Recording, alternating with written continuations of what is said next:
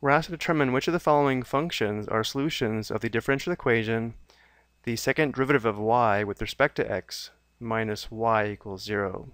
So we're given five functions and we'll find the second derivatives of each function, then perform substitution to see if this difference equals 0.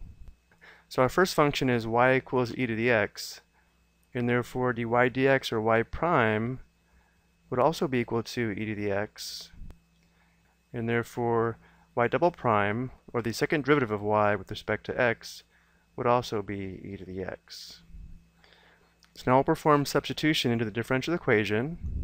We'll substitute e to the x for the second derivative of y with respect to x, and we'll substitute e to the x for y.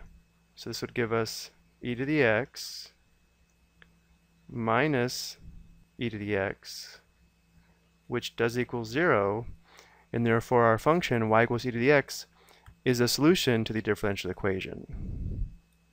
Next we have y equals 0, and therefore y prime also equals 0, and therefore y double prime is also 0. So again, we'll substitute 0 for the second derivative of y, and we'll substitute 0 for y as well. And since 0 minus 0 does equal 0, y equals 0 is a solution to the differential equation.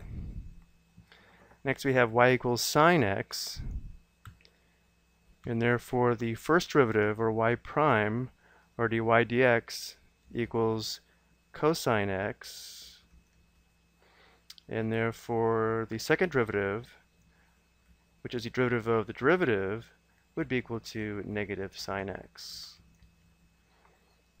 So once again, we'll sub negative sine x for our second derivative, and we'll substitute sine x for y.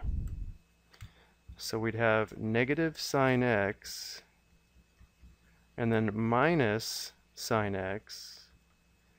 Well, this is equal to negative 2 sine x, which does not equal 0, and therefore y equals sine x is not a solution to the differential equation. Next we have y equals negative cosine x, and therefore the first derivative, y prime, is equal to the opposite of the derivative of cosine x, which would be the opposite of negative sine x, or just sine x. And therefore the second derivative of y would be the derivative of sine x, which is cosine x. So now we'll substitute cosine x for our second derivative, and negative cosine x for y. So this would give us cosine x and then minus negative cosine x which becomes plus cosine x or 2 cosine x which once again which does not equal 0 and therefore y equals negative cosine x is not a solution of our differential equation. And now our last function is y equals 4 times e to the power of negative x. Notice how because the exponent is negative x, we will have to perform the chain rule given here in our derivative rule. So the first derivative, y prime or dy dx, is equal to 4 times the derivative of e to the power of negative x, which should be e to the power of negative x times the derivative of negative x, which is negative 1, so 4 times e to the power of negative x times negative 1 would be negative 4 e to the negative x. And therefore the second derivative, y double prime, is equal to negative 4 times the derivative of e to the power of negative x, which would be negative 4 times e to the negative x times negative 1, or positive 4 e to the negative x.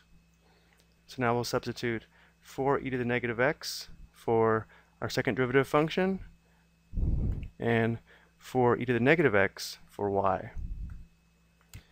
So we would have 4 e to the negative x minus 4 e to the negative x, which does equal 0, and therefore y equals 4 e to the negative x is a solution to our differential equation.